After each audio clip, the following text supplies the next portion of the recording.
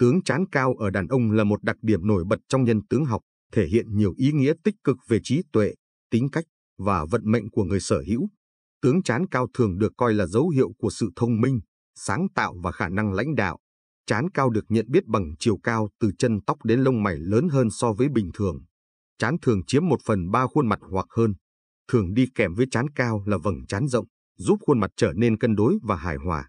Ở một số người, chán cao còn đi kèm với đặc điểm da chán sáng, mịn, không có nếp nhăn. Đây cũng là dấu hiệu tốt trong nhân tướng học.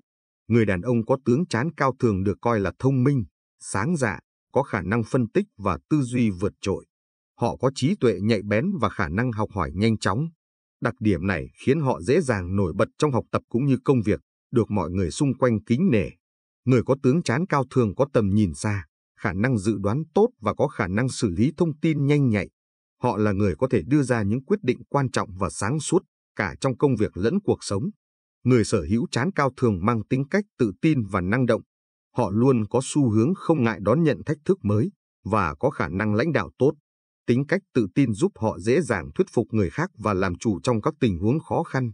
Sự tự tin và khả năng xử lý vấn đề nhanh nhạy giúp họ dễ thành công trong nhiều lĩnh vực, đặc biệt là các vị trí quản lý, lãnh đạo. Họ thường là người dẫn dắt, chỉ đạo những người xung quanh và luôn được tôn trọng. Đàn ông có tướng chán cao thường có sự nghiệp thăng tiến vượt bậc. Nhờ trí tuệ, tầm nhìn xa và tính cách kiên định, họ dễ đạt được thành công trong công việc.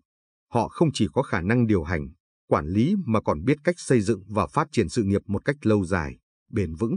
Những người này thường có tầm nhìn chiến lược và khả năng lập kế hoạch rõ ràng.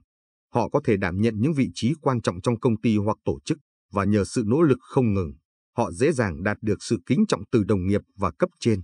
Đàn ông có tướng chán cao thường gặp nhiều may mắn về tài lộc. Họ có khả năng kiếm tiền tốt, đặc biệt thông qua sự sáng tạo và tài lãnh đạo. Không chỉ có vận may về tài chính, họ còn biết cách quản lý và phát triển tài sản một cách thông minh. Người có chán cao thường không chỉ kiếm tiền từ một nguồn duy nhất mà còn biết tận dụng các cơ hội kinh doanh, đầu tư. Họ có khả năng làm giàu từ chính trí tuệ và khả năng quản lý tài chính của mình. Người đàn ông có tướng chán cao thường có cuộc sống hạnh phúc, ổn định. Họ là người biết cân bằng giữa công việc và đời sống cá nhân, luôn biết cách chăm sóc và quan tâm đến gia đình. Tính cách tự tin, quyết đoán của họ cũng giúp họ xây dựng mối quan hệ tình cảm bền vững, lâu dài. Họ thường là người bạn đời lý tưởng, biết bảo vệ và duy trì sự hòa thuận trong gia đình.